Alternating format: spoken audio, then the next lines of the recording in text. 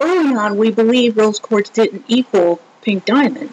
Now, Pink Diamond equals Rose Quartz, the persona.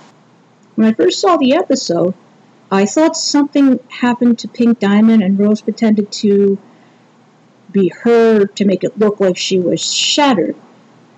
But it was for that one shot I somehow missed was how Rose's gem shifted, rotated, and not exactly changing form. Well, when I realized what the fuss was about, and how much more of it has hit the fan, it completely changes how we see Rose and Pink Diamond. It completely changes the circumstances for the characters and changing how the show goes on from here. All of this is obvious. I'm not ignoring those facts. And then, when I hear of other people's views on this and why they're not happy with this theory being true, yes, some things don't add up. Then there's my thoughts. With all this included, what if this could be looked at in another way?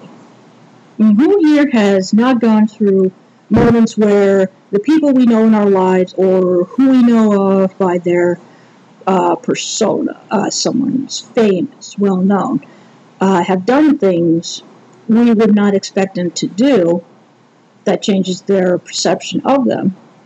What do you do from there? How do you look at your own life, the choices made, the outcomes that transpire from them? A person who you look up to, you admire, transform into the complete opposite that now questions many things. There are some levels of reality for those who have experienced deceptions and lies. Steven Universe is a fictional show. We end up taking liberties of their storytelling that tell things that can happen in real life mixed with fictional elements. In this case, fans are betrayed by the revelation as well as the characters are. We react how we'll react, as the characters will react how they will react. Good or bad, it's reasonable or insane. We do what, what we'll do during that mindset, dealing with those conflictions, and whatever opinions and feelings we have are our own, as well as our next actions or inactions taken. Many possibilities come of it, some predictable, others not so much. Obviously, I'm not condoning any negative behaviors or actions. People are going to do what they want to do, or they do what they think that they will do. But I do, on the other hand, hope there will be other individuals who make better choices, what really is better truthfully and honestly, and become a better person out of it. Perhaps Pink Diamond can also be seen as a perception of the SJW stereotype, believing in the rights of others, especially women and minority groups of all kinds, accusing those of fascism or totalitarianism, but they themselves are just as selfish, egotistical, racist, and fascist as the ones they call out on. The naive also influencing others for better or worse.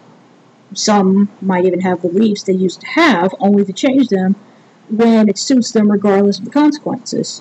I mean, Pink Diamond has shown to be a childish and naive ruler who wanted a colony, but just decided after what it's like didn't want to do it anymore and would rather be on Earth she came to admire. And then develops a persona to get out of the responsibility via an assassination and going on life with a clean slate.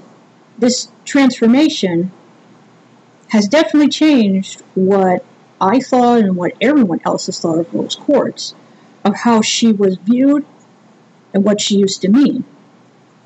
And now we can't go back when a simple pale rose never existed.